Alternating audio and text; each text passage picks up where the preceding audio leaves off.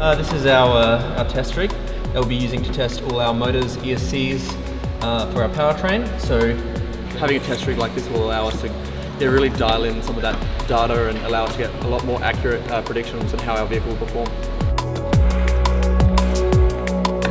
Yeah, so this is just like uh, the motor mount bracket. So we'll attach the motor to this, we'll rotate and give us the torque readings from the two load cells here. The purpose of this test bench is to really gather a full data suite from all of the different uh, sensors, verify all of the voltages, currents, uh, thrust as well as torque. Uh, next step after first spin is more power basically. we just crank it up and see what it will give us. And we're going to do some incremental increases in power and make sure that we're approaching the limits in a sort of methodical way. Well, yeah, kind of excited, but we've never tried the, like the full system. Yeah, so we tested each subsystem individually, but we've never tried it as a whole system. So I'm a bit worried if something can go wrong because of my code and my GUI. Hopefully it's not, it won't be the case. Uh,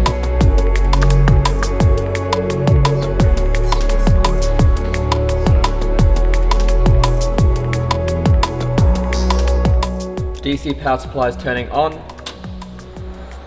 So test point number four, which is 50%, and update.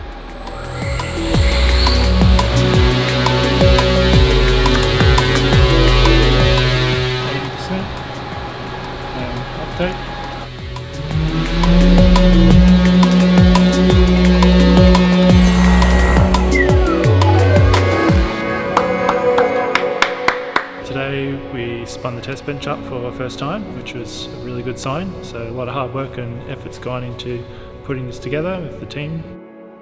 Amazing. It's uh, yeah, it's been a lot of work to get this thing uh, built, but it's, it's really good to kind of see the that kind of pay off, and we're yeah finally getting some data, which is really good.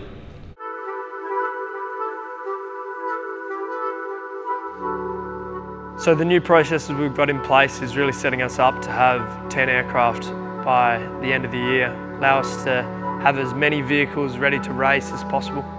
Yes, so version 2 of Mark III skins have really taken a lot of integration of the airframe and the systems into account and really how we can make it more easily assembled, um, easier to manufacture and just really streamline the entire process. We have a nose, a belly, we have a canopy, and then the undershell is the final piece of the puzzle.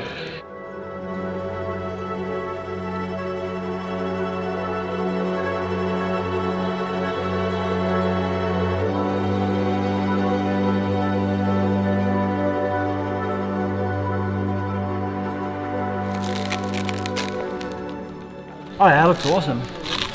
If you look down the line, uh, everything is like all consistent black. It all looks wet. There's no white spider web look to it, which suggests that there's no air in it. Every pull that we get um, from our skins is getting better and better. So each part's getting more and more premium.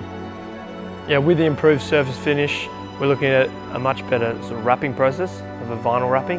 So a lot less imperfections on the, on the surface of the skin, which just allows us to get that, that clean surface finish that we're looking for.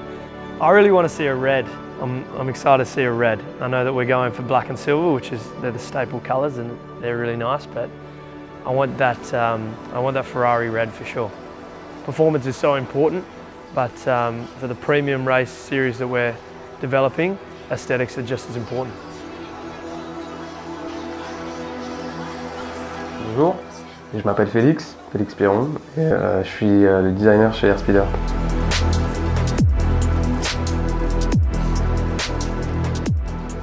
We actually started working on the a V1 of the cockpit, uh, even though it's a very basic version.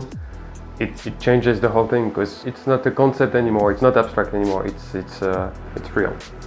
Yeah, it's a mix of an F1 car, a fighter jet, and a, yeah, and a helicopter. My, my first goal was to make it look like a car, like a car uh, interior.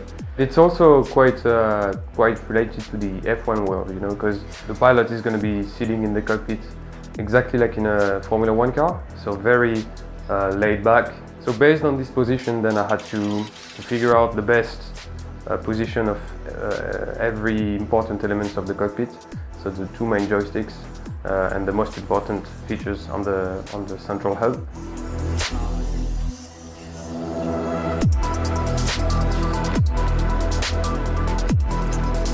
So I see the world differently since I work at uh, Alauda and AirSpeeder. If you maintain a good balance of creativity and uh, engineering logical thinking, you can actually improve your um, design process, you know. It unlocks some, some stuff in your brain, you know, which materials to use for, for, for what component of the body, you know, what thickness, uh, what radius, at the end of the day have an impact on the, on the overall look of, of your design. Especially nowadays when you spend so much time on the computers, the phones, the, the Zoom meetings and stuff like that. Sometimes you wanna you wanna get offline and just uh, you know sketch in your garden. It's the best thing. Truly, it's the best thing. It's pure freedom. I know it's a cliche to say that, but it's it's it's the case. You have a, a, a uh, blank piece of paper in front of you, and you're free.